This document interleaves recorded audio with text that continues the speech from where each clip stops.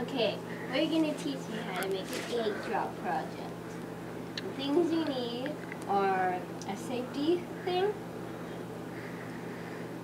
an egg, duct tape in case your box doesn't close,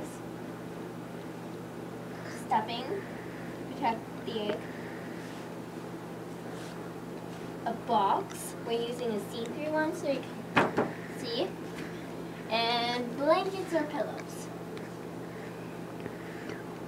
First thing you're going to do is put the small blankets or a pillow at the bottom.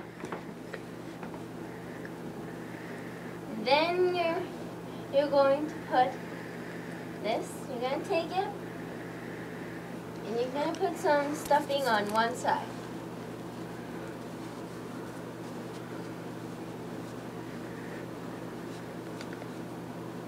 Just one side like that.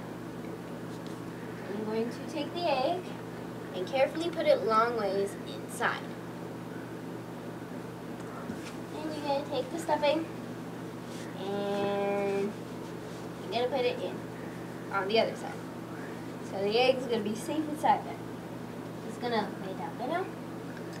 Then you're going to take your egg and you're going to place it on top of the blanket. Then take other blanket and put it on top.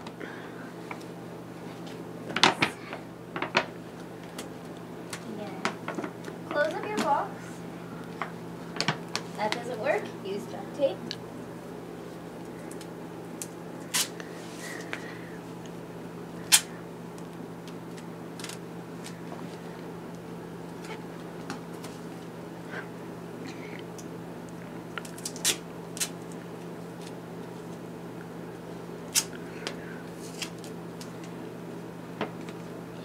Close that up.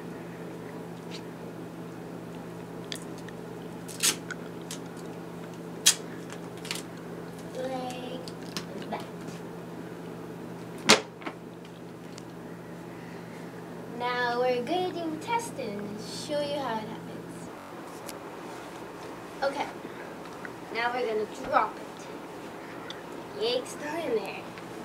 And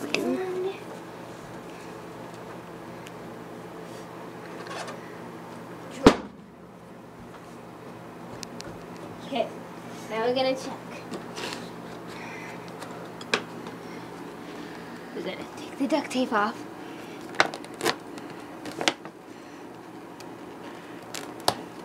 You might need different duct tape for the real thing. And we will. We will. Okay, we're to take Just one blanket out. Or the pillow, whatever you use. And you're to check your egg.